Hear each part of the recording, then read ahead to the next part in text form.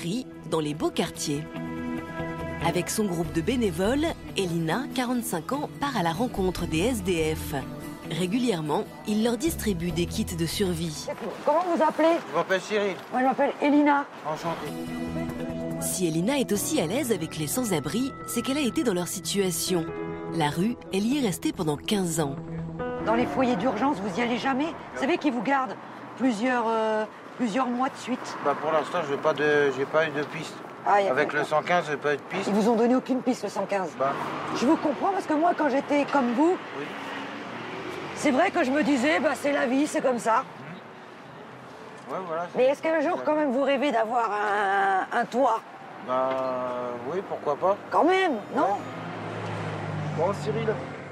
Bon, et, et faites merci. attention à vous, hein. D'accord. Hein Oui, Faire gaffe, il faut aller voir le médecin. d'accord. D'accord Oui. Merci. Au revoir. Ciao. Depuis deux ans, la vie d'Elina a radicalement changé. Aujourd'hui, elle a un toit, un lieu qui lui permet de mesurer tout le chemin parcouru. Car si Elina s'en est sortie, c'est qu'elle a su saisir sa chance. Tout a commencé il y a 15 ans. À l'époque, elle est sélectionnée avec d'autres SDF pour jouer dans une pièce de théâtre.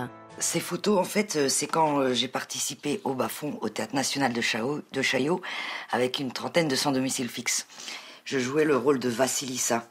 Et comme par hasard, euh, Vassilissa, dans les bas-fonds, c'est celle qui a le plus de poignes. C'est qui gère tout, qui gère toute la communauté des sans domicile fixe. Donc c'est bizarre, c'est un rôle qui me ressemblait, quoi, quelque part. Ça a déclenché quelque chose chez moi, je, vais vous expliquer pourquoi. C'est tout simplement qu'on était fiers, quoi. Pour une fois, on parlait de nous en bien, comme des vrais artistes et tout, quoi. Mais le but, c'était qu'on trouve un boulot à la sortie du projet. Et moi, quand le projet a été terminé, j'ai dit, moi, maintenant, je vais écrire mon spectacle. Et je vais raconter l'humanité des sans domicile fixe de l'intérieur. J'ai mis dix ans à écrire mon spectacle. Et le rêve s'est réalisé. Depuis trois ans, Elina a son spectacle où elle incarne son propre rôle. Merci d'être venus si nombreux, place de la République, avec la CDM, la Cour des miracles. La- Aujourd'hui, elle est en pleine répétition, car dans quelques jours, elle va jouer sur une grande scène nationale devant 1000 personnes. SDF, sans abri, avec chien ou sans chien. On dit que la rue est un grand théâtre. Eh bien moi, pour l'avoir bien vécu, j'ai choisi le théâtre pour vous en parler. Sur ces images, on la voit dans la première représentation de sa pièce. Le but de mon spectacle, bah, c'est de, c'est de, d'apporter un autre regard sur l'exclusion. C'est de, à travers mon spectacle, c'est de dire aux gens, euh, non, vous vous trompez, euh, être sans domicile fixe, c'est parce que vous croyez. Je pense que des fois, on condamne trop vite les gens. Et je pense qu'à travers mon spectacle, euh, on peut voir que on peut s'en sortir. Et je trouve que c'est quand même une belle note d'espoir, quoi. Un logement, une pièce de théâtre et depuis quelques mois, un job de chroniqueuse dans l'émission la plus écoutée d'une grande radio nationale. Aujourd'hui, elle est l'une des figures de proue des grandes gueules. Une chose qu'elle n'aurait jamais imaginée il y a encore quelques temps.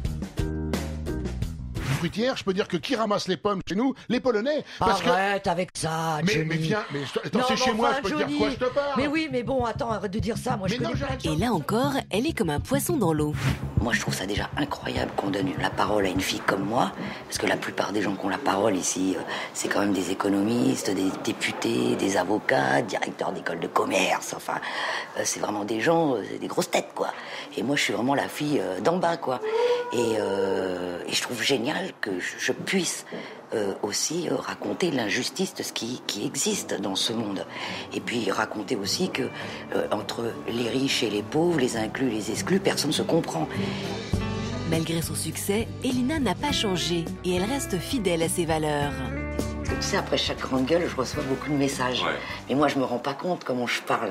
Moi, je suis là pour vraiment dire des choses. Enfin, J'essaye au mieux de me- m'exprimer. C'est ça que t'es avec nous, Ouais, c'est avec sais ta ce spontanéité et ta Ouais, franchise. et ben, tu sais ce qu'ils me racontent, les gens?